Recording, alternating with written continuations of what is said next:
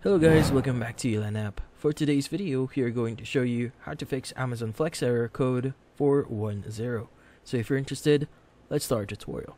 So 410 error, also known as gone, communicates to the client that the requested resource is no longer available on the server and it won't be returning.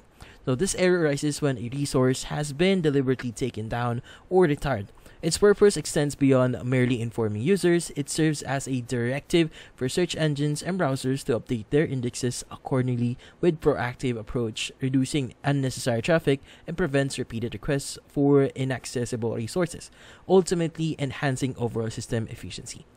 Now, in layman terms, it means that the current page or the uh, page that you're currently accessing is no longer available, and the server itself, or the provider, or the platform itself, does not intend to return that specific page that you are currently accessing.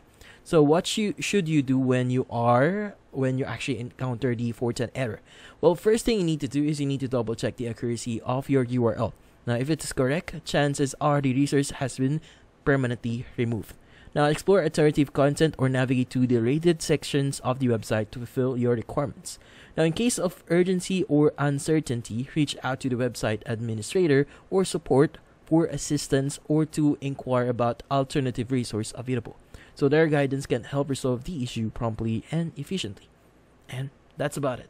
So hopefully this video was able to help you. Like and subscribe to Yalan app. Thank you for watching.